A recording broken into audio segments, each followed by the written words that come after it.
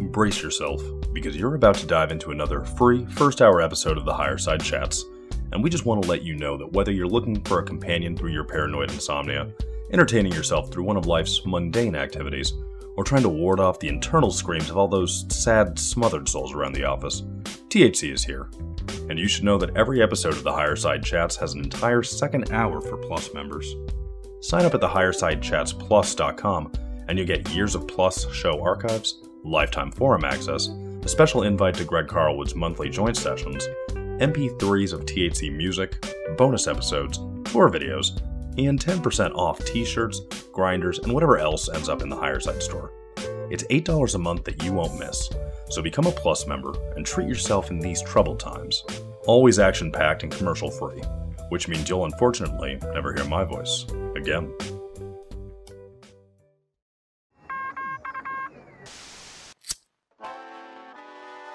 In the 1930s, President Franklin Delano Roosevelt addressed the nation through a series of radio broadcasts known as the Fireside Chats. His aim was to reassure the common man that our society would recover from its troubled times. Well, we're far from 1930, and I deal with a different kind of fire. For a new era of worldly frustration, we offer a fresh conversation. I'm Greg Carlwood, and these are the Higher Side Chats. Ladies and gentlemen, boys and girls, the list of mysteries in this world is long and flowing. In fact, nearly every chapter of the human story has pages ripped out, redacted, or never written at all. Yet we do see the rubble and remnants of times before that make us curious as to what the past was really like. Pyramids, mounds, megalithic ritual centers, celestial markers, and more. These things should make anyone wonder what the people of the past really knew or thought about this human terrarium and their place within it, because today it's hard to even get that question asked. Now we suffer from a blended cocktail of ignorance, apathy, and dare I say suppression that does not go down all that smoothly for the inquiring minds that actually want to know. And for those folks, we're lucky to have today's guest, Greg Little. For the unfamiliar, Mr. Little is a psychologist by trade who holds a master's degree in psychology as well as a doctorate in counseling from Memphis State University. He is associate editor of Alternate Perceptions and has written over 30 books on a number of subjects from self help and criminal justice to ancient mound builder cultures, Atlantis, and UFOs. Today we're going to talk primarily about his latest release with co-author Andrew Collins entitled Denisovan Origins, Hybrid Humans, Göbekli Tepe, and the Genesis of the Giants of Ancient America, and I'm sure it's going to be a good time. So here he is, the multidisciplined Denisovan detective Greg L. Little. Welcome to the higher side. Hi, Greg. Hey, thank you. And that is quite a introduction there. A lot of a lot of uh, very flowing language in the beginning. That was that was impressive. Hey man, I try. I try. You know, just do you do that on every show? Yeah, I would say so. You got to get people warmed up. You know, every subject can be very diverse, and uh, you really got to set them up well. I think because you know attention spans are short these days. Well, you did a great job there. My bio's a bit out of date. It always is. I don't even I don't generally supply a new bio to people as I move along. You just reach a certain age and you go, oh, what the heck? You don't care anymore. so yes. that's kind of where I'm at with this. I'm just doing what I want to do at this point in life. Right. Hey, amen. Just a couple of Gregs doing what we like to do. That's right. And, Pair Gregs. yes, and I'm really looking forward to this, man, because you've written plenty of books that fit squarely in our wheelhouse, and I hope we have time to touch on several of them. But it is Denisovan Origins, which is also in part connected to your other book, Path of Souls, that are the main offerings on the table today. And I really enjoyed the book. I think the mound building cultures of ancient America and the idea of giants are both pretty exciting and interesting. And as someone who's also fascinated by synchronicity and dreams, I think a good place to start is to ask you how you even got interested in mounds, because it seems like something you couldn't ignore, right? Wow, I'm surprised you brought that up. I'm not sure what where you read that or which book it was in. I know it wasn't it wasn't in Denisovan Origins, was it? No, it was not. okay, all right. Well, back in 1984, I had my first book published, and that's a long time ago, before a lot of your listeners were born. And that book was called The Archetype Experience, and it tried to explain the UFO phenomenon through Carl Jung's idea of synchronicity. In any event, I did that the old-fashioned way, and that is you you type out a manuscript, you make multiple copies, and you send them off to publishers, and you wait.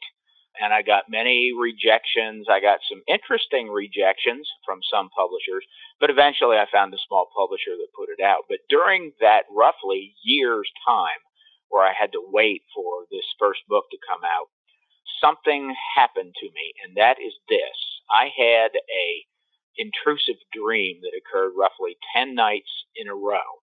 The dream seemed to come out of nowhere, and on the dream, or in the dream, I was standing on an Indian mound, and I took some pictures, and then suddenly I was standing on another Indian mound, and I took pictures, and on another and took pictures, and another, and this went on. This was the dream. It was a recurring dream that went on night after night after night.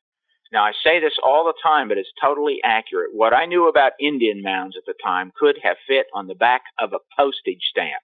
Now, I know most of your readers will not be familiar with what a postage stamp is, right? Hmm. a postage stamp is a little tiny piece of paper you put on an envelope and mail it off. So it's not very big. And that was an old joke that was used back a long time ago. But I really knew nothing about mounds. I knew next to nothing about Native Americans. Nothing was taught in my high school history classes. Nothing was taught in college about it. I took anthropology and archaeology as courses, never heard a bit about them. So my wife and I decided, because of this dream, I had no idea where it was coming from. We went to a mound. I live in Memphis, Tennessee. We went to a mound here I'd never been to. And when we walked in, we saw something. It was actually a spider illustration. And I just knew instantly that I had to visit all of the known mounds in the in America that I mean North America when I say that get a photographic record of them and generate a pictorial illustrated encyclopedia. Now this came again out of nowhere and that started a quest to go to Native American mounds which we did. We wound up going to thousands and thousands of them took so many pictures, and back in those days, you had to print them out, and I wasn't entirely organized because I was doing a lot of other things and work. So I didn't even write the, the name on a lot of them. But I did finally finish that Mound Encyclopedia book. The first edition came out in 2009. It took that long. And I updated it in 2014, I believe. And I believe it was 16 and that's available and out, and it has about 3,000 mounds in it in North America. But that's how that started. It came out of nowhere from a dream. and I know it's an unusual story, but it's absolutely the truth. I have no explanation for it, except I when I came out with the 1990 book, which was a follow up to that first one that was about Carl Jung and UFOs. I started talking about Native Americans in it. And then I had an aunt and an uncle and my father who said, Oh, by the way, your great great grandmother was Native American. She was Seneca. And I had no idea. And then that actually made me look at it into all of it even deeper. So that's kind of the story. That's how I got into it. I love it. Answering the call of the mounds and maybe even your own ancestors. Well, maybe. I will. I'll add one more piece to this. When I was doing the book, that encyclopedia. It is so detailed and it's got so much information packed into it. It's an oversized hardcover that's the size of an encyclopedia volume. And I got about two thirds of the way through it and I just went, oh my God, this is too much work. I have other things I have to do.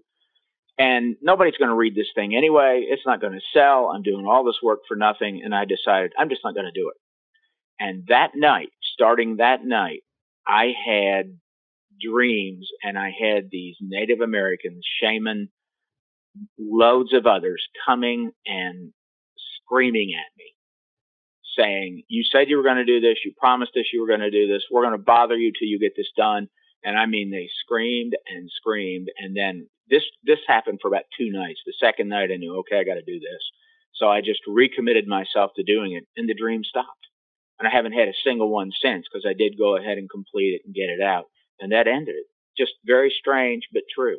And for a psychologist, it's not unusual to say this kind of stuff but usually you're saying it about other people, not yourself. well, you know, I guess dead men can tell no tales, but they can harass you in your dreams. It, it appears it appears so.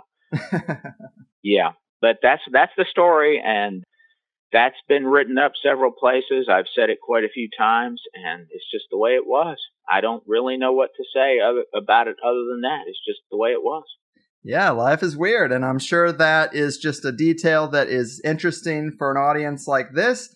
And another little detail I heard that is kind of in the realms of uh, getting intimate with indigenous spirituality, maybe even that has an emphasis on entheogenic experiences. But you had a Native American shaman and his family move in with you for a month. Is, is that true?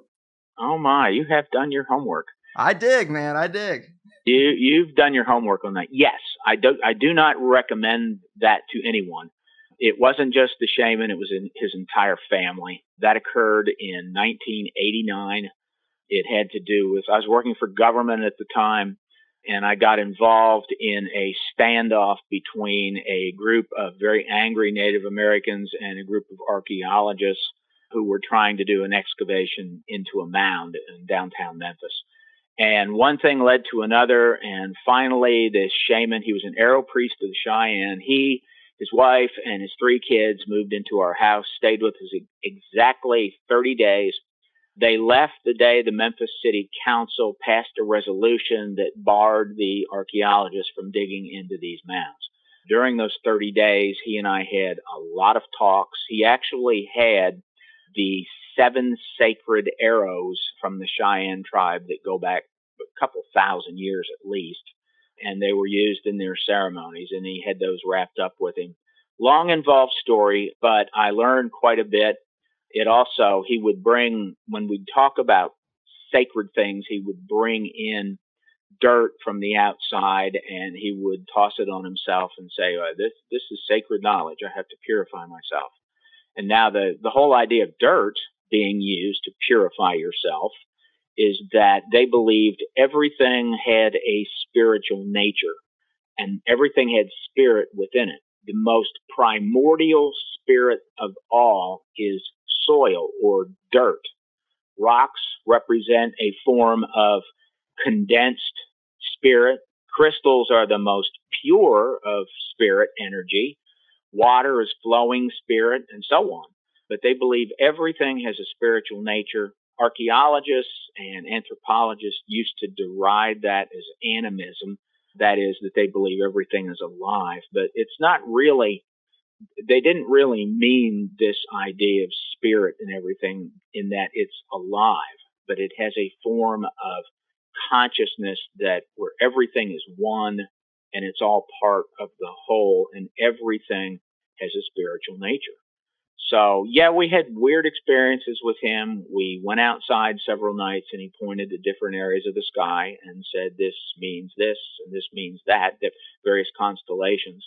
They did not use the same names for stars and constellations that we use today, but almost every tribe has its own names and terms for various constellations. Hmm. I am surprised you dug that story up. Ah, it's not that hard. Yeah, you've done some research here. it's the one job that a host should have. But hey, so that is some those are some great anecdotes to get us started here, but when it comes to this book Denisovan Origins, it's really two full books in one, but the first part Old World Cosmogenesis is written by Andrew Collins and the second part American Genesis is written by you. Obviously, Andrew isn't here, but could you give the people a bit of an overview of Andrew's contribution before the story gets to America where you pick it up? Well, Andrew Collins is is very well known. He's almost he's on almost every episode of the show Ancient Aliens. He's on several other series, network series pretty often. He's best known for his work in about Göbekli Tepe in Turkey He's well known for European archaeology, and of course, a lot more is known about European archaeology and history than the Americas. History here started for us 1492. That's why we call it the historic period. Hmm. Everything before that's prehistory. But in Europe, there are records that go way back. So there's a lot more known. So Andrew has done a lot of work in Egypt. He actually discovered a cave system under the Giza Plateau, and the Egyptians even named it after him. It's known as Collins Caves. Andrew is famous for really challenging what is called the OCT, the OCT, the Orion correlation theory, which which theorized that the three the three main pyramids at the Giza plateau in Egypt are aligned to the constellation of Orion. So Andrew and some colleagues, some professional colleagues of his found that the three main pyramids at Giza are also aligned exactly to the three crossbar stars of the constellation of Cygnus, which is known as the Northern Cross. So that is that is what Andrew is known for, but he's written a lot about this site in Turkey called Göbekli Tepe. And Göbekli Tepe is the oldest stone temple known in the world, dates to roughly 10,000 BC. Actually, it's more like 9600 BC or so. It's a massive site uh, in southeastern Turkey. Uh, has these huge pillars of stone that are like 16 feet tall. Some of them are 20 feet tall just monstrously huge T-shaped pillars that probably held a roof up, but they have these incredible, intricate carvings of animals and, and human forms on them, and it it changed everything. The discovery of Göbekli Tepe around 2000, the year 2000 or so, changed everything. And when I mean it changed everything, up until that time, and really, we're talking around 2010 when everybody knew that, okay, this is dated that old. Up until that time, everyone in archaeology thought that civilization began roughly 4000 BC. That that began the earliest stone carvings, stone structures, and megalithic buildings. That there was nothing before that. Everyone was a hunter gatherer before that. But now we know that's not true. So that pushed the dates back for everything. And of course, oddly, Göbekli Tepe's burial, which occurred around 9600 BC, occurred right at the same time that Plato's Atlantis supposedly was destroyed and disappeared. And that, of course, has driven archaeologists, mainstream archaeologists, nuts because they hate the, the whole idea of Atlantis. But Andrew wrote in the beginning of this book that this these people people known as the Denisovans. You can call them Denisovans. Most of it, most uh, Andrew says that over there they pronounce it Denisovan, but it, to me it doesn't matter. They're actually named after the cave in which their remains were very first discovered, and a monk by the name of Denis lived in this cave. So they called it the Cave of Denis. Therefore, they became known as the Denisovans. The cave was located in the Altai Mountains of Siberia. It's in Russia. Initially, when they went into the cave, they found habitation layers of modern humans. They dug lower, they found habitation layers of Neanderthals, and they dug lower, and then they discovered this unknown, much, much deeper layer that had initially a finger bone and a couple other little pieces of bone. And now they know they've they've recovered now a jaw of a Denisovan in China. They have found pieces elsewhere, and they have a lot more bones. But the interesting thing is they did a full genetic sequence of this finger bone, which was in- incredible. And that genetic sequence showed it was an entirely different species of humans. They have now taken them back to 700,000 years ago, which is astonishing. So they were contemporary with the Neanderthals, but they are different. But they did interbreed with the Neanderthals. And this is all, I'm not talking woo woo here. This is mainstream archaeology, mainstream genetics. The Denisovans and the Neanderthals interbred among themselves and they interbred with modern humans later. Now, modern humans supposedly developed around 200,000 years ago or so. But all these species interbred, but the Denisovans died out, as did the Neanderthals. It's unclear why. They may have been killed off, but no one really knows. But what was discovered with them, and even more recently with Neanderthals, is that these were not stupid brutes who walked hunched over and who were more ape like than human. these were very intelligent creatures who made drawings, who made paintings, who actually made clothing, which they sometimes sewed. These were people who made beautiful jewelry. Andrew loves to talk about the discovery of a hole in some of their polished moldavite jewelry that the scientists have said that it could only have been made by a high speed drill. Now, as soon as I use that term, everybody thinks of electricity, but we're not talking about electricity. There's a lot of ways you can make a high speed drill that makes a really smooth, polished interior. But they actually had a lot more capability than we would believe. So these people were the beginning of really modern knowledge. They started the, they started the first art. As they developed, they passed along some of their information to the modern humans. So basically, I'm following Andrew's chronology now.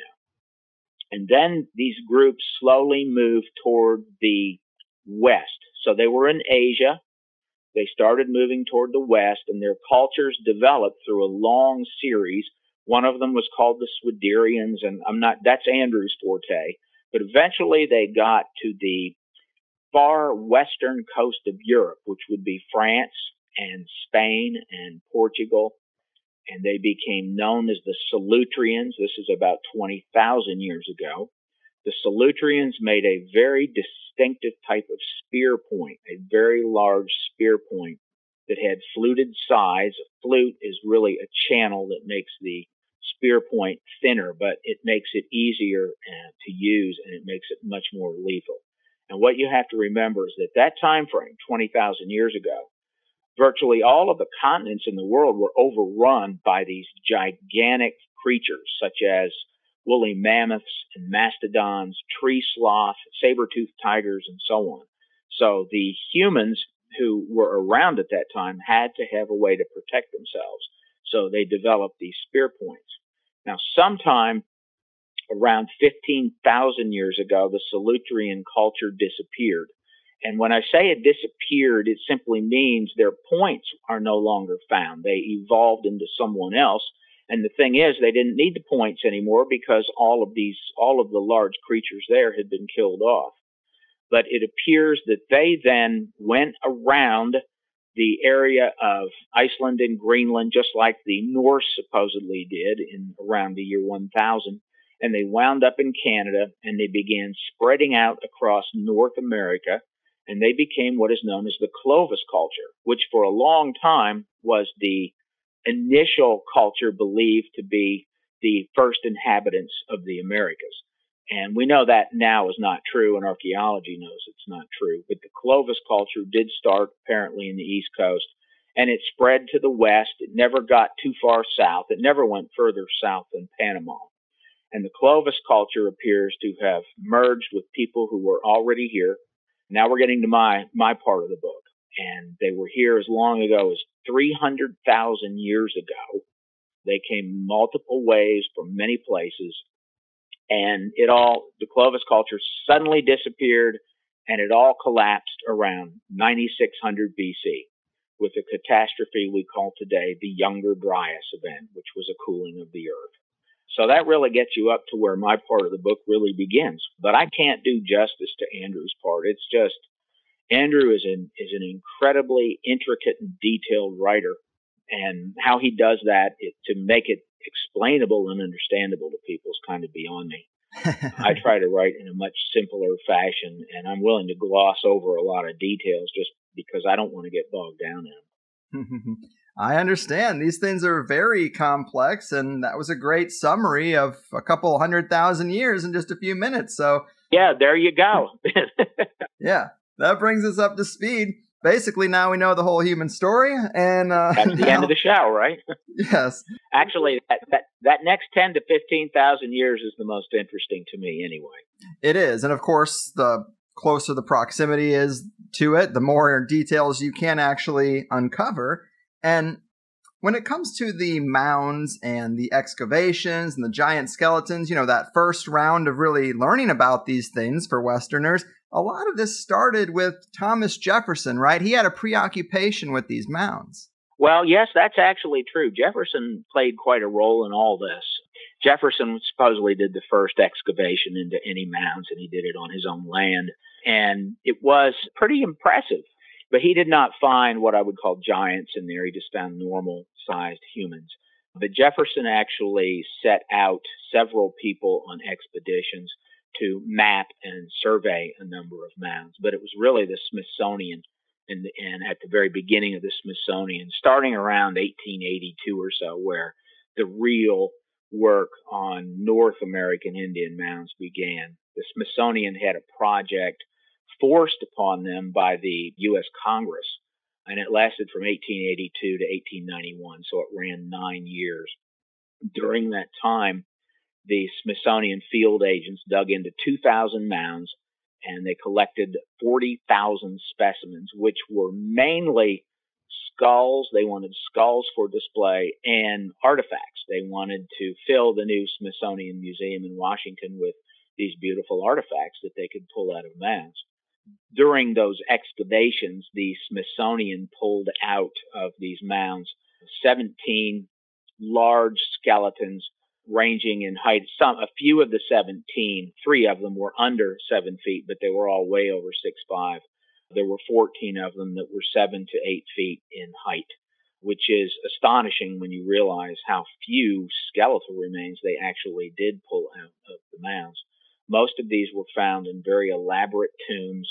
There is an area of the United States along the Kanawha River Valley, which runs into the Ohio, but it, it goes through West Virginia. And on both sides of the Kanawha River, particularly near Charleston, in South Charleston, West Virginia, there were seven of these seven footers pulled out in a series of mounds. And they were in really very elaborate tombs with a lot of artifacts. We know the era that these people were buried, roughly 1000 BC, 1500 BC and it's called Adena, A-D-E-N-A era mounds, which the Adena ran from about 2000 BC to roughly 500 BC. There are loads of Adena mounds. They're giant conical mounds. When I say conical, I mean it's like a uh, like the top of an ice cream cone. That's literally where the word comes from. So they're cone-shaped mounds. They can get enormous. The tallest ones have been some 80 feet. Today, the tallest one, I believe, is 72 feet high that remains but they're huge. They're gigantic. And usually in the base, right in the middle, at the bottom, there is a really elaborate tomb. Now, there are burials generally above that tomb that are less elaborate because they do the initial burial and then they do more and more on top of it. So the mound would get bigger and bigger. But that's just one kind of mound. So that really is the, that, that idea that the Smithsonian found these seven foot to eight foot tall skeletons is really the beginning of it. Modern archaeologists deny every one of those, even though they're in the Smithsonian publications. And at the same time, they're not the only ones found. Even after the Smithsonian did its excavations, modern archaeologists have found many more seven to eight foot tall skeletons as they did more and more excavations. But excavations into mounds burial mounds essentially stopped in 1990 because of a law. So there hasn't been anything else done. And all of these large skeletons that were pulled out of mounds are gone. And what happened was in 1989 and 90, two laws were passed. One law specifically applied to the Smithsonian, and the other one applied to every other place that re- ever received a penny of federal money or ever would receive a penny of federal money, that they had to repatriate, which means give back any skeletal remains and any burial artifacts to the native, any Native American tribes that would claim them. And if they could not find anybody to claim them, then they had to keep them in storage and not let anyone look at them or examine them at all for any purpose. So today, it's like the Smithsonian. The Smithsonian has less than 300 of these remaining. And all of the ones that they have remaining out of probably millions of artifacts they've accumulated from the 1800s, they've given it all back but 300. And the 300 they have all come from South America. They can't get any South American tribes to take them back. So that's where we're at. No one can really examine any of these, even if you could find one. It's not legal to do the testing. The last one that I'd ever heard of where the testing was done was the famous Kennewick Man. Kennewick Man was found in the along the uh, a river in Washington State. Can't remember the name of it now. But when it was found, it was just found washed up in this river. It was tested. It was found to be 9,000 years old. Native Americans wanted it, but the scientists and archaeologists wanted to test it. So it was kept in storage, and that one skeleton, the legal proceedings went all the way to the U.S. Supreme Court in order for it to have any genetic testing done on it. So they finally, and I think it was an eight year run before it was done, they did the genetic testing on it and then it was given to the Native Americans. So that it takes, it's that hard to do any kind of testing on remains. The, these giants did exist.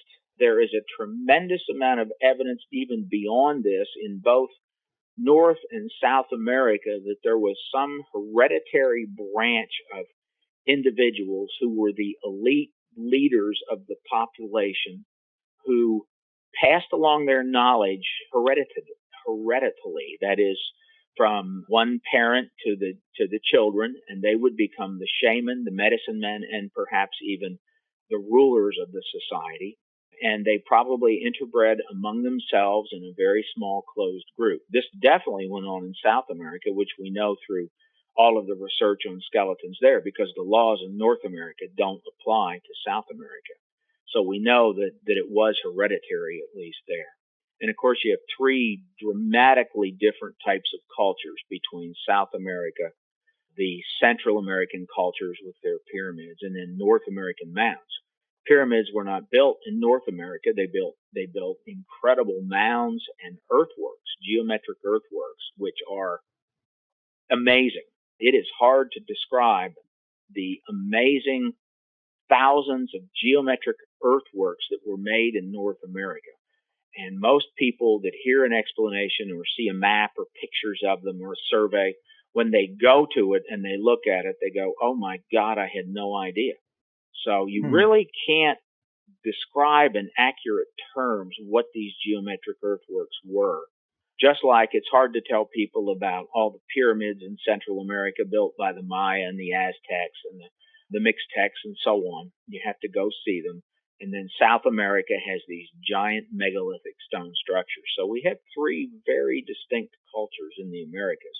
But the giants were also in South America. People like Magellan, Lord Byron, many other really famous, famous people saw these giants in South America. Francis Drake was one. Drake actually measured some of them, physically measured them and they found the ones in South America. There were some initially that they said were 10 feet, and every time 10 feet in height. Every time they came back, every time the early explorers came back to South America, and we're talking about extreme South America, an area called Patagonia, Tierra del Fuego, which is the southern tip of South America.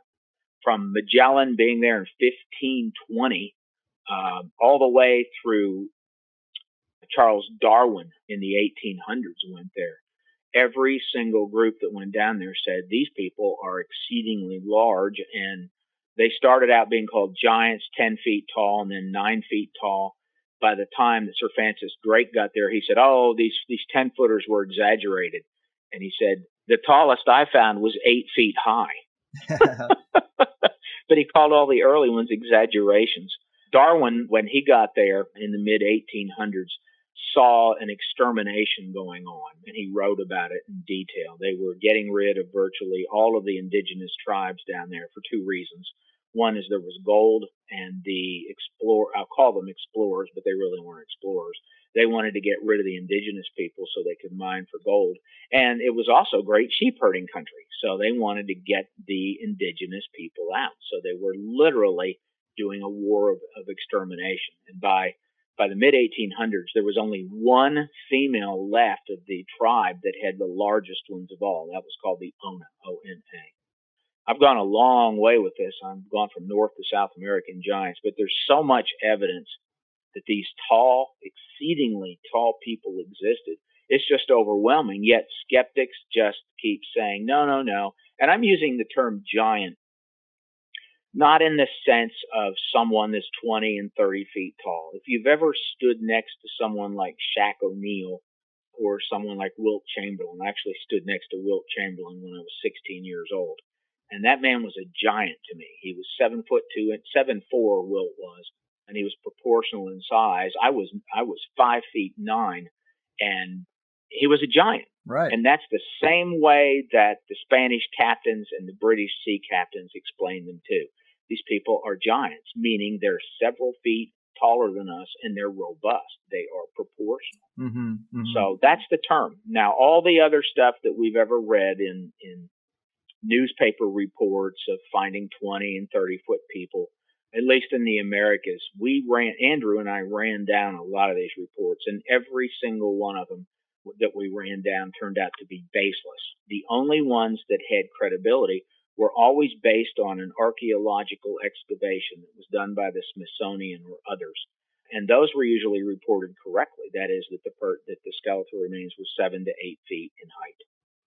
Right on. That's a lot of great detail. I think the Carnegie Institution funded a couple of those excavations too. And yes, Carnegie did. Uh, 1958, Don Dragoo dug into a mound along the Ohio River, and he found a seven foot two inch one in it and he said it was one of the largest that he'd ever seen.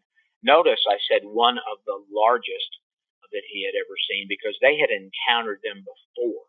And the archaeologists that were doing the work, like in 1958 to 1970, they didn't have the same problem with saying that, oh, these people were seven feet tall. Today, archaeologists say that they all mismeasured. They didn't know about the process of spreading. One skeptic actually said, "Oh, they're all normal size, and what's happened is they got wet and they froze, and they got wet and they froze for thousands of years, and they got bigger and bigger and bigger and bigger." And I actually asked the skeptic, I said, "So that's why you think dinosaurs were as small as a dog because over the millions of years their bones have been there, they've gotten wet and then frozen and gotten wet and frozen and, and they just got bigger and bigger, but they're actually tiny. Mm-hmm. Uh, it's an absurd thing. Even in archaeology, what it what the textbooks say is that if bones actually do get wet and then freeze and then thaw out and freeze again and do this over and over, they don't get bigger. They simply split. They totally split and they fracture, but they don't just get bigger. So it's an absurd explanation these people did not mismeasure. They knew how to, what they were doing, but they weren't afraid to say it. And what's happened is there are people who take this this idea of giants in the mounds, and the first thing that they'll quote after it is a passage from the Bible that says there were giants in the earth in those days. Right. So these skeptics, most of them are agnostics and they believe that this whole idea of giants somehow supports creationism. And for their own reasons, they detest creationism. They detest anything in archaeology that even remotely supports anything in the Bible. I'm not saying whether I believe what's in the Bible or not, but I think it's absurd to to deny something because it goes against something that you just believe in. Mm-hmm. They believe in evolution. They do not believe in creation. I believe in evolution too, but I'm also somewhat of a creationist in a in a different way. I think both take place. Yeah, I think the history is quite it's quite a mixed bag. I don't think you can put the entire history into into one box. I agree with that completely but anything to them that even remotely supports the idea in the Bible that there were giants, they do whatever they can to say this is not true. They ridicule it. They will make up arguments against it that are completely untrue. And then we've even, we've been called Andrew and I have been called racist by a mainstream archaeologist recently who reviewed the book, and in it he said uh, his very first sentence said that we're racist because we assert that the Solutreans came over from Europe and they taught the poor, stupid indigenous people here how to build mounds. And that is not in our book at all. not at all. They were already building mounds. There were mounds in South America. The first mounds were found in South America, and the natives built the mounds. And I actually pointed that out to the guy, and he said, "Yeah, well, your your genetics is all wrong in this." And but he only says that, and the truth is, he doesn't understand the genetics. But we that's why we're racist. We have said that there were multiple incursions into the Americas, perhaps as long ago as 300,000 years. There is good evidence in South America of that. Something we haven't talked, I haven't talked about here at all, is the difference between what is in South American textbooks and their museums and what's in North America. Right. We tend to ignore what they say in South America but they have archaeologists with PhDs from major universities who claim that South America was first, that South America had people there by 300,000 years ago and lots of incursions around 50,000 years ago. There's loads of sites that go to 50,000 years, and that there was a southern route.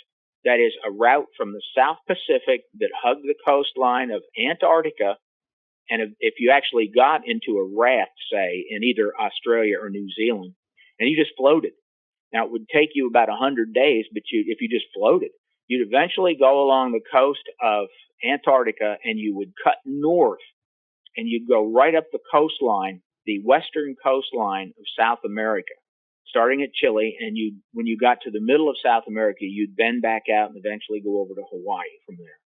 So that is the southern route. There is a tribe that lives in the middle of the Amazon, the Brazilian Amazon, that genetically is identical to indigenous people in the South Pacific. They are, they know for certain that is who they are related to. There is no way that they could have gotten there around the around the Bering Straits, which is where mainstream archaeologists say they all came from. And that's why we're, they say we're racist. We don't say that all of them came across Beringia. All of them came from Asia at the same time. We say people came from Asia from using the southern route very early, a bunch of times. Then a whole bunch of people came over across Beringia at the end of the last ice age around around 15,000 years ago. And then the final incursion was a group of these Solutreans, a small group of them who eventually became the Clovis culture, coming from Europe. But ultimately, we know the Solutreans were simply a mass of moving people migrating out of Asia. They were Asians also, and that's stated very clearly in the book. So mm-hmm. all of the peoples who came to the Americas, as far as we're concerned, as far as the, the evidence that we've looked at is, is, concerned, they all came from Asia. It's just from different time frames, and they took different routes. Mm-hmm. Mm-hmm. Well, I think that makes a lot of sense, and of course, it's a complicated history, but that's another great summary. And what about the mounds themselves? These are more than just hills, right? They're pretty sophisticated ritual structures. I believe you've called them magic machines for the death journey and a spiritual engine of sorts. And maybe we should talk about the context of the path of souls because that ties in as well. Sure.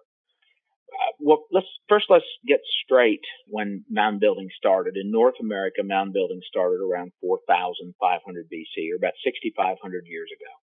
So we're talking about 6,500 years ago in North America, mounds started being constructed. Initially, the first ones were, they're usually called midden mounds, and a midden mound is a buildup of refuse and material.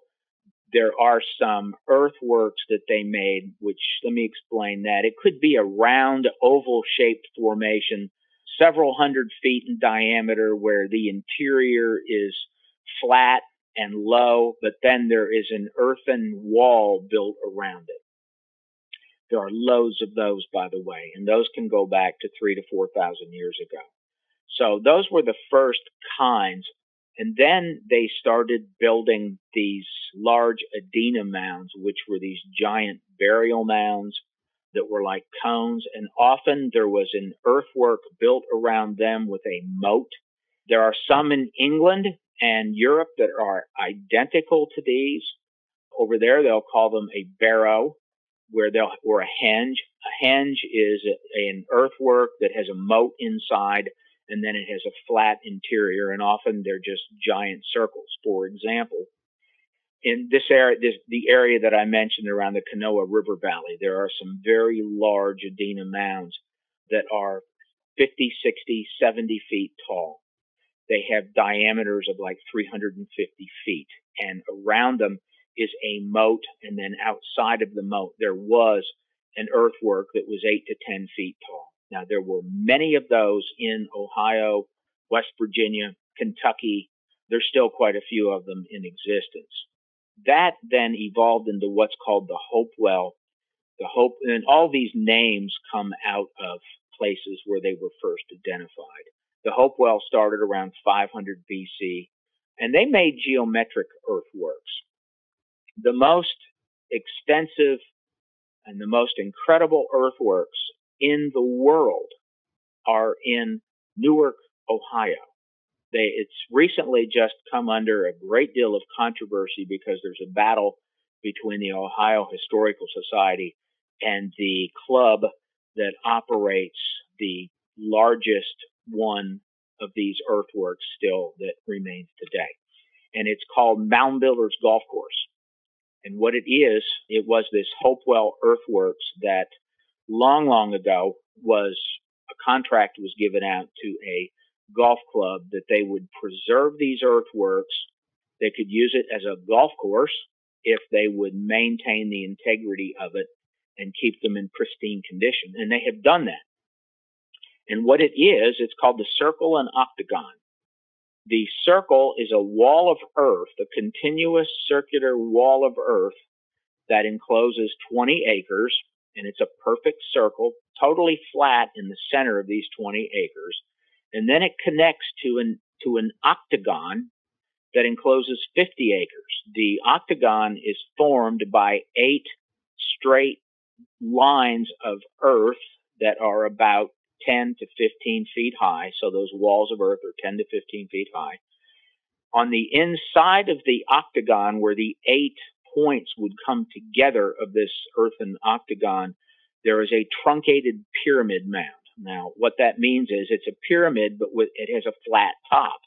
And when I say pyramid, it's earthen. It's made out of earth, even though there are some stone covered mounds around the Americas. So that then has another circle outside of it with a wall of earth around it. And it had a, a straight line walkway that was, had, that was enclosed with two parallel lines or walls of earth that ran about four miles. These walls of earth were about six feet high and they were 160 feet apart. So you have this, think of this, think of an interstate highway running just three or four miles. And on both sides of the highway, it's all earth in the, in the center where the highway is. But on both sides of it, somebody has built a wall of earth that encloses you. So that then goes to a, what is called the Great Circle. This still exists in Newark, Ohio. It encloses 50 acres the outer wall of this thing is about 12 feet high. On the inside of it is a moat that is seven feet deep. And in the center of this 50 acre complex is a earthen effigy mound that is shaped into a eagle that is lying on its back with its wings out. That exists there. Now, I, now almost all of the rest of this incredible complex of earthworks has been destroyed. There are some portions of it. It's almost impossible to describe it. The reason I took so much time explaining what the this walkway would be, 160 feet wide with the walls of earth on both sides enclosing it, there was another walkway that was made identically and it had the two walls of earth on both sides, about 160 feet apart. They were three to five feet high on both sides and perfectly flat on the inside of the walkway. And it ran 56 miles south to Chillicothe, Ohio, where it terminated at an almost identical circle and octagon formation. And there are several others of these in that exact vicinity in Chillicothe. That is the most extensive earthworks in the world. There is nothing that compares to it. Yet it's just almost unknown among Americans. We just don't know about it. Um, but that's just one. There are loads of these. Portsmouth, Ohio had probably the most incredible of all, and a lot of that's been destroyed, but a lot of it still remains. So there were hundreds of these Hopewell type formations. The Hopewell then evolved into what is known as the Mississippians, and the Mississippians built gigantic mounds. Cahokia Mound, for example, the, the mounds there, there's 120 mounds at the Cahokia, Illinois site. Now, Cahokia is about 10 miles to the east of St. Louis. When you get on top of the tallest mound, you can see downtown St. Louis and you can see the Mississippi River. But these 120 mounds formed a massive city that at least 25,000 people lived at. That's kind of the lowest number anybody gives. Some archaeologists believe 50,000 people lived there. It ended around the year 1200, AD 1200. So it would be about 800 years ago. But Cahokia's tallest mound was called Monk's Mound. It sits atop a, it sits atop 13 acres. That's how big it is, this one mound. And that is larger than the Great Pyramid at Giza. It is the height of a 10 story building. It's 100 feet tall. It's massive. To tell you how big the top is, in 1987, 4,000 people gathered on the top of that mound at the same time. That's how big it is. Uh, and that still exists. And there's about 60 of the mounds that still exist in the park of Cahokia. And of course, it's a, it's a World Heritage Site. Now, Cahokia was the largest of all these Mississippi complexes, but there are hundreds of these cities or towns that were part of this Mississippian culture. And a lot of them had 30, 40, 50 mounds. One of the more impressive ones is in Moundville, Alabama, which is near the University of Alabama, near Tuscaloosa. And it was a massive complex. And of course, that was the site where the Path of Souls ritual was really laid out. That's where we really discovered what the Path of Souls is about. And it sort of explained how and why these mound sites were built and arranged the way they were, because they're built and arranged to point to certain astronomical events, such as the solstices, the equinoxes, and the rise and setting of very specific constellations and stars. So that kind of leads into this whole path of souls concept. yes. Hey, have you ever had anybody talk this much before, this fast? I have, I have. There's been times where I just introduced people and uh, could have taken a nap if I wanted to. Um, but hey, I mean, the, I like to make the show about the guests. That's why you're here. It's why we do it. That is a great breakdown of the construction and the composition of a couple of the mound complexes. And that is important context for people to understand just how big and elaborate they really were. And then, yes, let's lead right on into the the purpose of some of them. This idea of magic machines for the death journey this Path of Souls stuff. I mean, this is their cosmology and their concept of the life death cycle. I'm surprised how rich it is. Yes, it is. There were artifacts that had been recovered from mounds by mainstream archaeologists doing excavations. And some of these artifacts had just incredible symbols. Most people have seen a symbol of a palm of the hand and in the middle of it you see what looks like an eye. That is the eye and hand symbol. Mm-hmm. That's been found in roughly 30 artifacts from the mound building era in the Americas. There's another symbol that a lot of people have seen that is carved onto all kinds of artifacts. It is a feathered serpent. It's like a rattlesnake that has feet and also has wings, and that's been found on quite a few. And of course, most people used, in the old days, they used to immediately say, ah, that's the feathered serpent from South America or Central America, Quetzalcoatl, the feathered serpent in the sky. They said it was that, but it turns out it's not in North America.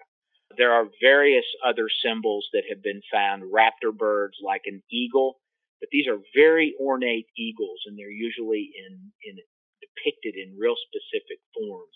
There's a couple of others. A skull, for example, a wide-eyed skull where the eyes are depicted as just round, big round eyes, empty, empty eyes, but it's a skull. There's another symbol where you have this skull with the round eyes, but there's like looks like fire coming out of the mouth. That's another symbol.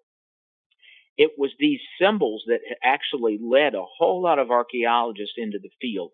And up until around the year 2005 or so, you go into mound museums, which a lot of the, the biggest mound complexes have museums there. So they have depicted some of the symbols, and a lot of them have the artifacts with the symbols that were found on them you can see the actual artifacts, and they're just fascinating. If you read what the archaeologists wrote back in 2000, and you can read interviews with them, even my own books, I always focused in on the symbols, but a lot of them would say, a lot of the art, the archaeologists would say, we'll probably never ever know what these symbols were or what they really mean, but darn, they're interesting. And that's why they got into the field. But here's the thing we do know now what they mean. And paradoxically, it was the passing of those laws in 1989 and 90 which led to the discovery of what all these symbols mean. Because up until 1989 and 90, American archaeologists focused almost all their work on excavations and the cataloging of artifacts and trying to identify cultures based upon the pottery they would dig out. You know, they'd look at radiocarbon dates and that kind of stuff, doing what they called was science. But they ignored the mythology that the Native Americans themselves had. And it wasn't scientific then for them to look at a symbol and speculate upon what it might mean. And of course, they really, at that time, had up until 90, 1990, I hate to say it, but they really were very degrading to Native Americans. And I experienced that, that myself. I wrote about that a little bit in the book People of the Web back in 1990, which tells the story about that shaman who stayed with us for 30 days. So what, what happened in the mid 1990s for their own reasons, meaning apparently they had to do something to justify their existence a group of archaeologists and ethnographers and anthropologists came together every year at Texas State University. And they had an ongoing conference to try and unravel what they called the symbology of the Southeastern Ceremonial Complex. The Southeastern Ceremonial Complex Eh, is represented by those symbols on the artifacts that I just described, meaning the, the skull. I missed talking about a bone. You'd see an ulna on a lot of artifacts, just the bone, the ulna. You'd see the skull with the, the, it looked like a speech box coming out of the mouth. You'd also see the raptor bird, the eye and hand, and of course the, the feathered serpent, and there were a few others. But they decided we need to figure out what these things mean. So what they did was the ethnographers started pulling out some of the literally hundreds of old reports and Smithsonian books and books published by the U.S. government by Schoolcraft, Henry Schoolcraft, and many others, where they actually talked about all those beliefs and they began analyzing all of these books, which were in libraries. I used to look at them, I still do. They were not digitized, that is, you couldn't get on the internet and look at them. And you actually had to go to the library and you had to either check them out or you had to sit there and you had to go through them. And there are literally hundreds of these. But what the ethnographers did back in the 1600s, 1700s, and 1800s, all to the early 1900s, they literally went into the tribes and they talked to the shaman and the medicine men and the tribal elders and leaders and they started writing down their stories and they started writing down as much as they could about their rituals and there were actually rituals that were seen at the time and written down But as even a Native American said, all those books were languishing away in libraries unread because archaeologists didn't want to read all that because it was nonsense and because it wasn't on the internet. I know lots of researchers that haven't set foot in a library. Everything they do is online. So this group of, of archaeologists and ethnographers got together, and around the year 2004 or so, they started issuing their reports. And by roughly 2010, they had figured it all out. And when I when I became aware of this, I immediately let Andrew Collins know because what they found was that the constellation of Cygnus and the constellation of Orion were central to this whole belief system about the path of souls or the death journey or where our souls come from because this is a two-way journey. Souls come to the earth from the stars in their belief system and souls return to the stars after death.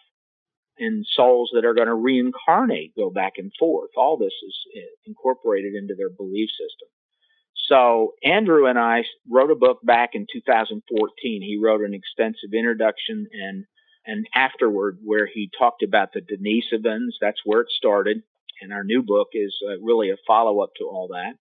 And he talked about the Denisovans being larger and more robust than others. And he said they were probably the Adena giants. So that's how we got into all this.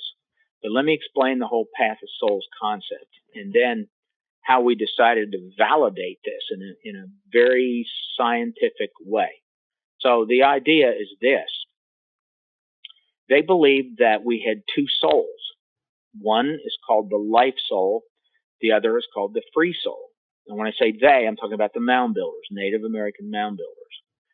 The life soul is the physical body. Remember, everything in the universe has spirit. It has an energy incorporated into it. But the, the body, they knew the body came from the earth. They knew we were a function of, of fluid and minerals, that we literally came from the earth. And they believed that after death, this physicality had to be returned to the earth. So that was, that is called the life soul. And the artifacts that depicted a wide eyed skull, just a skull with nothing in the eyes, and it looked literally lifeless. That is the life soul. And they know now those artifacts, almost all of which are drinking bowls, were used in rituals during a death journey ceremony. So that is a clue here. Then there is the free soul. The free soul is what most of us would describe as our, our soul. It has our personality. It has, uh, it existed before we came into this body, and it's what exists when we leave. It has a place of origin and it has a destination, and it lives on after the body dies. But it's what most of us identify as our personality. It accumulates all of our thoughts and all of our deeds and so on. And it has a certain moral aspect to it. We can be good and have been of service to our uh, fellow man, or maybe we were evil. So there's a judgment involved in this. So this free soul, they found out, is depicted on the artifacts that showed this skull, this wide eyed skull that had the speech box or the fire coming out of the mouth. And that fire coming out of the mouth was the representation of the free soul leaving the body at death. And that's that that again, all those were on drinking bowls of some kind. So these were used in a ritual where you would move from one type of container to another in this ritual. So that is the beginning of the concept. So where does the free soul go and when? Now, this has been figured out by archaeologists, not me. This is in their textbooks. And there's around uh, 30 textbooks that have this in it. I don't know how many articles, but I'll say hundreds of journal articles in it.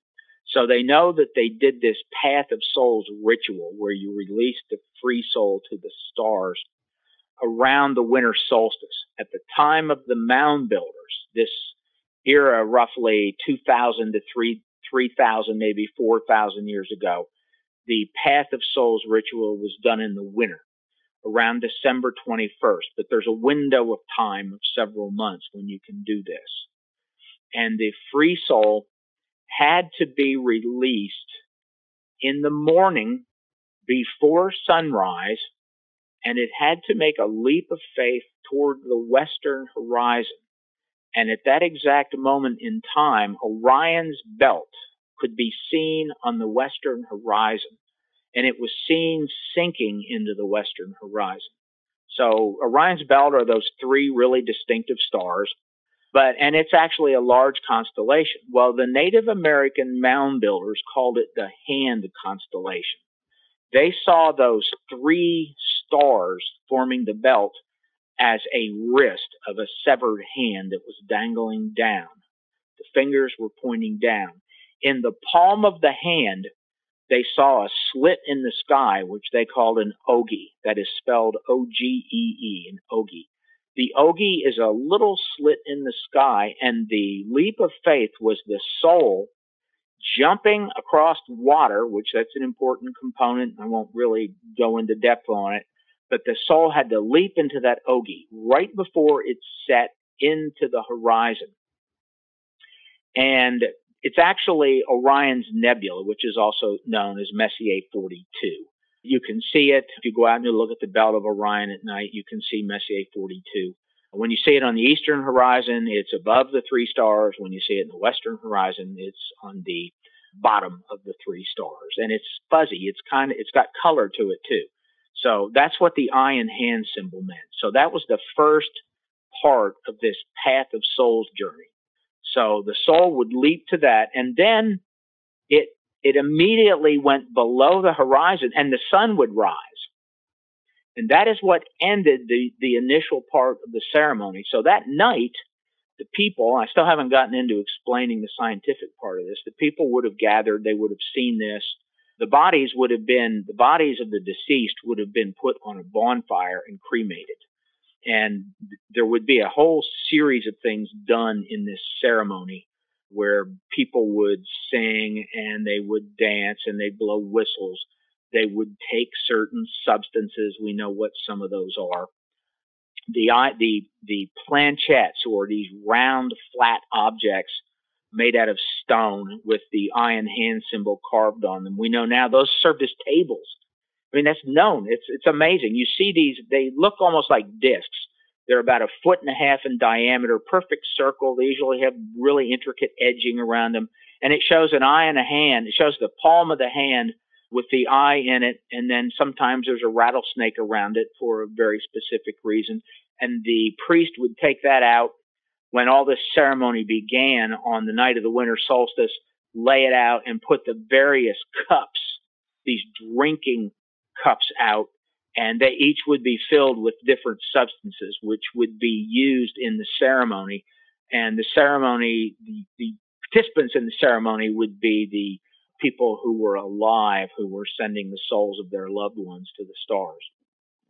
So that began the first step of the journey. Now, the next nighttime, as soon as the sun went down, you see Orion then on the eastern horizon. So you see the hand coming up on the eastern horizon. And right behind it is the Milky Way. You see this, this path of the Milky Way. Now, the world was darker then. Most people listening to this cannot go outside and see any remnant of the Milky Way. Modern lighting has pretty much just made it all disappear in most places. Not everywhere, but most places. But what they believed then the next night, the soul would come out. It made the passage through the underworld, under the earth, and they knew that the whole, the stars went under the earth and came up on the other side the next night. And then after that safe journey through the underworld, the soul would leap out and get on the Milky Way, and it would begin a journey to the north. And the whole idea of path of souls, the path is the Milky Way, and they believed that the souls were making a journey toward the north to go to a very specific destination. Now, along the way, they had all these little trials and tribulations and things they had to do to prove themselves on the journey. Some of them might slip and fall back to Earth where they might be reincarnated or they might be cast into the underworld, which I haven't gotten into yet. The underworld was ruled by this feathered serpent. The feathered serpent was represented in the sky as the constellation of Scorpius. And Scorpius is like a huge scorpion. But they saw it as a feathered serpent. During the winter months, Scorpius is not seen in the southern sky. That's where it's normally seen, and it usually just hovers above the horizon. During the winter, it's not seen, and you can't take this path of soul's journey when Scorpius is in the sky because it will, snatch the soul trying to make the leap. One of the things this explains is why Native Americans would often store the bones of the deceased. They would bundle them up and store them. And then in the winter, they would, they would take the bones of the deceased and do the ceremony that released the free soul to the sky. But that explains why they often did that.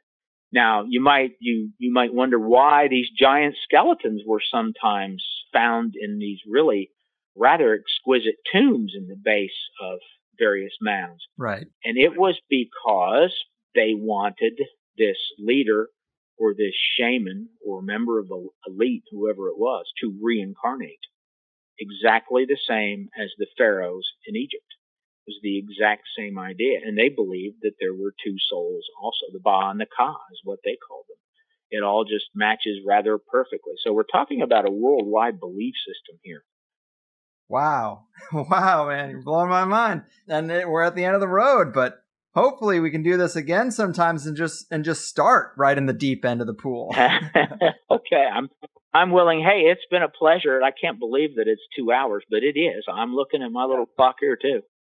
Yes, yes. Luckily, we're not on a strict time limit. Like I'm not fitting this into some uh, you know, radio show schedule, but obviously we're wrapping it up and this has been super interesting you definitely cover the spread when it comes to the books you've written.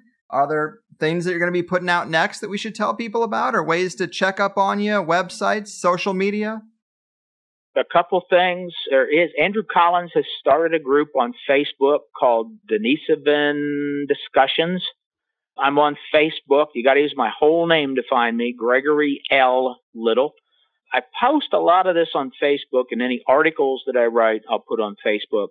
I use Twitter. I'm Dr. Greg Little 7 on Twitter. I use Twitter for my profession mainly and the books that I do professionally, which is my main, that's mainly what I do. Also, apmagazine.info. I generally put an article or two there every month.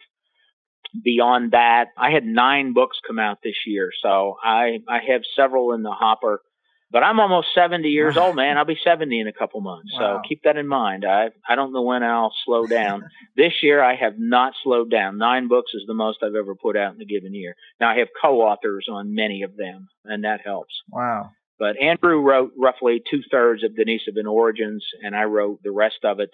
But the publisher gave us word totals. Andrew went over. I stayed right on it. So that explains it. I do what I'm told. I listen to my superiors. right on. Well, man, I really did love the book and I loved everything you had to say today. You're an interesting cat, Dr. Little. Thanks for taking the time and for all the work you do. Have a good one. I appreciate it so much and maybe we'll do it again. For sure. Oh my my, you beautiful people. How about that? So glad. So glad we could make this one happen. I'm sure it's going to be popular. This is one of those shows where I'm actually a little disappointed in the format where the second hour is reserved for premium people because my god, did we get into some interesting places by bringing up his book, Grand Illusions. The spectral reality, underlying sexual UFO abductions, crashed saucers, afterlife experiences, sacred ancient ritual sites, and other enigmas. Woo! Mouthful, even for me. But it is the kind of nuanced examination of high strangeness that gets closer to the heart of things. Again with the plasma. it's all right up my alley. So, so amazing. And I hope I can get him back and we'll start there and talk about Edgar Cayce, also, who Mr. Little has spent a lot of time studying. But you have to tell him you liked this show and that you do want him to come back. Supply and demand, you know the drill. But what a guy. The amount of work he's done is very impressive, not just in subject areas that overlap with us, but even the vast amount of psychology content he's put out aimed at helping people with difficult aspects of life. It's a lot, and he's a humble guy. You gotta love that. And he added some important context around the mounds. He's got a great story of these dream experiences that compelled him to study the mounds and the mound makers. It's very close encounters or field of dreams. But the other mound books he has, the illustrated guides, I mean, this is a real contribution to the historical record. Same with the Path of Souls, just dissecting all that, learning it, bringing it back. It's like when I get excited about a guest who's translated some obscure grimoire into English. Just, wow, you really did something. And I just hope over the course of this show, it's become obvious that Greg Little is a great example for Gregs everywhere, especially the less productive ones, and I salute him for it. And this was sort of a whirlwind for me, lots of content, and I can't remember if we relayed all the details about Juan Ortiz, but that is another wild and important story that this 1528 gold expedition in Tampa Bay had failed and then DeSoto and his men come through that area 11 years later and find this guy, Juan Ortiz, from the first expedition that survived and lived with the natives for those 11 years and learned their language and everything. What a life! There are no phones or telegrams to tell people that you survived, no contact of any kind, no way to get back home. And then 11 years, that's a long time you'd really have to probably inform DeSoto and his men even that that first expedition happened. Just wild times, wild times. But also on the subject of giants, we've been talking about that theme a bit in the joint sessions, and I brought this up there. But we've heard guests talk about the Humboldt Museum in Nevada and how you can ask to see the bones of giants there. Well, I found out that apparently they have a sign up, and let me just read from it. First off, it has red haired giants with the big no, like the no smoking symbol through it. And it says there are many myths surrounding the so called red haired giants from the Lovelock Caves, much of which you find on the internet is false. The Humboldt Museum no longer has any human remains from the Humboldt Sink area. For the record, the remains that were here years ago were not giant. One of the males may have been six feet tall, which was tall to them, but certainly not seven or eight feet in height. There are no archaeological facts supporting this myth. Please refer to blah blah blah Wikipedia whitewashing bullshit. I'm just messing around, but it is interesting that they do have this sign. Hmm, you hate to see that, Cotton. And I guess we weren't the first to think about showing up there to ask about such things. And speaking of the joint session, I know we had some confusing messaging over this last joint session for October. I said I would do it on the 25th, released a show on the 25th saying that, and then I ended up canceling it a few hours beforehand. And it wasn't any super serious emergency thing, but because of the fires and the Santa Ana winds, a lot of people were without power. It took me just a lot longer to do anything. I was stuck in serious traffic when I canceled. I also saw that part of my zip code was getting power shut off, couldn't get a clear answer on exactly where the lines were drawn. And I knew some other people who were having a hard time dealing with all the inconveniences too. So it wasn't the biggest deal in the world, but it was a lot of logistical inconvenience and I don't think I've canceled a single one since they started, but unfortunately, I just couldn't make it happen. I would just move it back a week, but I'm going to be in Florida for the last week of October for my brother in law's wedding. Congrats to Dave and Katie. I haven't learned the dance routine for the time warp yet, but there's still time. And it's why the fifth show of October is coming out a little early, too. I gotta get on a plane tomorrow, you know? Gotta work hard, though, to play hard. So here we are. That said, if you want more THC, if you like the first free hour, if you enjoy how much I try to pack into a show and how little downtime we have compared to some of your other options, please think about signing up for THC Plus. You get an extra hour each episode, MP3s of the Higherside cover songs, all that good stuff. And $8 is like a tip on dinner. Hopefully, this show is worth that to you. Because I do try my best to make it as good as I'm able to make it. In today's Plus show, like I mentioned, it got really, really good if you ask me. And it was hard to even find a good place to split this thing because the breakdown of the Path of Souls cosmology took a while to explain and is also important in making this overall show sound complete. But in the second hour, the great Greg Little does walk us through a deeper look at the Path of Souls cosmology. We talk about why Mr. Little thinks control of the masses by the elite was a big aspect of Mound Builder culture. We get a breakdown of Greg's book, Grand Illusions, like I mentioned, and we hit that sweet spot lately plasma based intelligences that impede on our reality. Man, great month. Eileen Day McCusick, David Icke, Eric Dollard. I hope you agree. I don't love the fee, but commercial and sponsor free is the way to be, if you ask me.